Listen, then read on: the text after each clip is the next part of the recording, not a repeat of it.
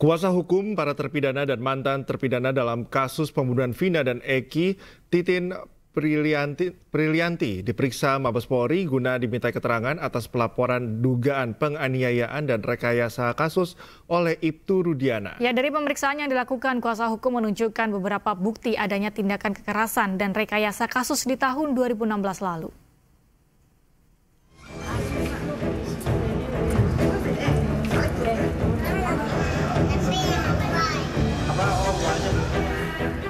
Kasus pembunuhan Vina dan Egi yang hasil sidang peninjauan kembali para terpidana tinggal menunggu keputusan dari Mahkamah Agung kini mulai memasuki babak baru.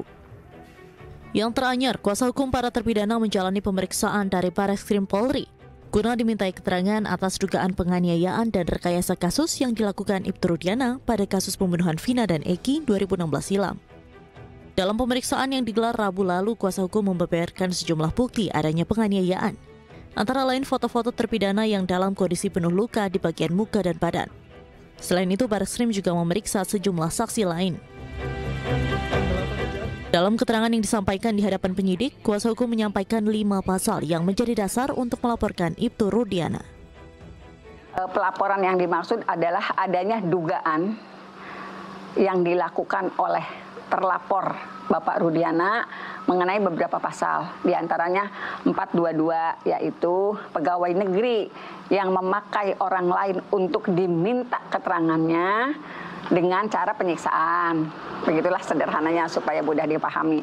Kemudian juga 351 menganiaya eh, penganiayaan yang dilakukan diduga oleh Bapak Rudiana terhadap ke tujuh terpidana.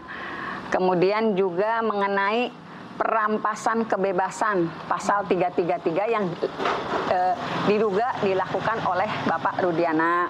Kemudian juga perbuatan tidak menyenangkan pasal 335, kemudian juga 242 eh, memberikan keterangan di bawah sumpah yang sebenarnya itu merupakan sumpah palsu.